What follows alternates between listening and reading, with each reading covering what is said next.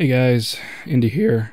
Um, I am guessing you've all heard the news. Uh, if you haven't, recently Chester Bennington, lead singer of Linkin Park, was found dead.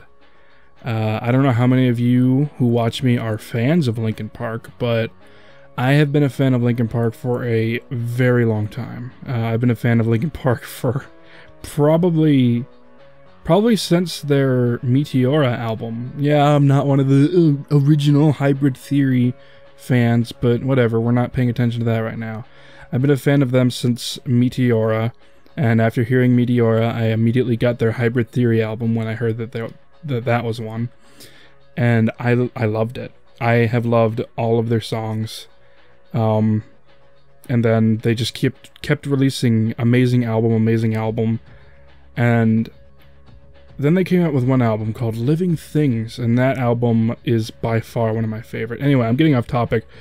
Basically, I have loved Linkin Park for a very long time, and to know that Chester Bennington, at four, age 41, is now gone, that's just so hard to think about. Um, apparently it was he he committed suicide because of depression and um, addictions and stuff like that. And all I can think is anyone out there who has depression, don't be afraid to talk to somebody. Don't be afraid to just talk about what you're going through.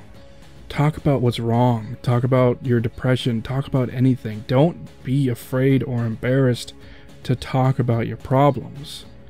Talk to your friend, talk to your brother, talk to your sister, talk to your parents.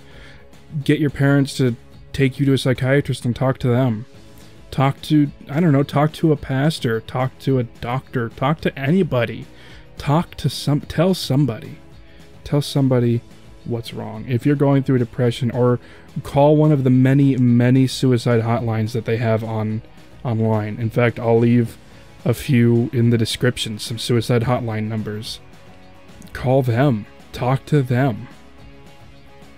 You shouldn't suffer and to know that Chester Bennington was suffering, like just like you know he he never like recently with Boyinaband's video he was he met Mike Shinoda and Chester Bennington and you wouldn't even see it in him that he was suffering through any kind of depression but apparently he was for him to go and kill himself but Linkin Park, I, I think I speak for a lot of people when I say Linkin Park influenced a lot of my childhood, and I can I can assume that that it's the same for a lot of people. So to know that he's gone is heartbreaking, to say the least. Um, it's something you just don't expect. He was 41. He wasn't even half th- halfway through his life yet. He was 10 years away from being from halfway through his life he still had so much in him. And with his most recent album, I do admit I wasn't the biggest fan of it, but I liked some of the songs on it. I wasn't going to buy it, but now out of respect, I'm, going to.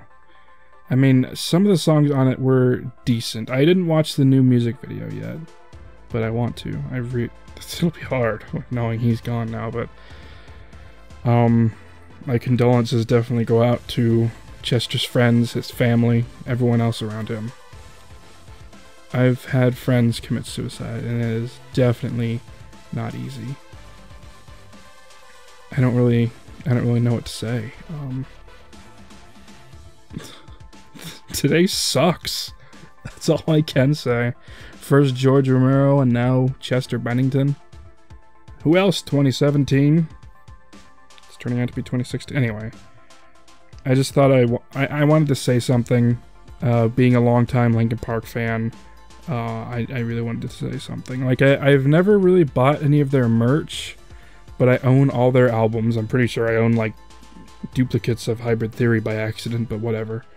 Um, this wasn't a video trying to say, hey, I'm a giant fan. This wasn't me trying to say that. I was just trying to say how much Linkin Park has been around in my life. I wanted to show how much they've affected me because Linkin Park for the longest time was one of the few bands I listened to. I listened to them, Three Days Grace, Red, and probably Rise Against. and Disturbed, of course. Those were the few bands, main bands I listened to, and Linkin Park was probably the most listened to one. So I don't know. I don't know what Linkin Park has planned. If they're going to keep making music or if they're going to quit.